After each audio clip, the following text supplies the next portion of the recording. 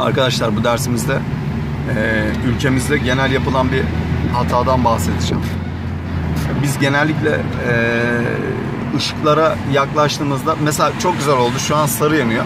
Sarı eğer uzakta yandıysa muhakkak önceden yavaşlar ardından aracımızı durdururuz. Yani e, ışık sarı yandı ise ve biz ışığa uzak isek yani kontrollü durabileceğimiz bir mesafemiz varsa muhakkak yavaşlar sonra dururuz. E, bizim genel yaptığımız yanlış şu sarı ışığı gördüğümüzde yetişemeyeceğimizi düşündüğümüzde gaza yükleniyoruz ki çok acıdır.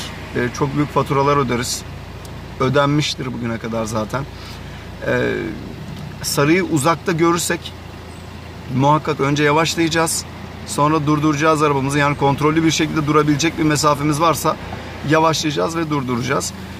Sarıyı yakın bir mesafede gördüysek yani kontrollü durabileceğimiz bir mesafemiz yok ise muhakkak geçeriz.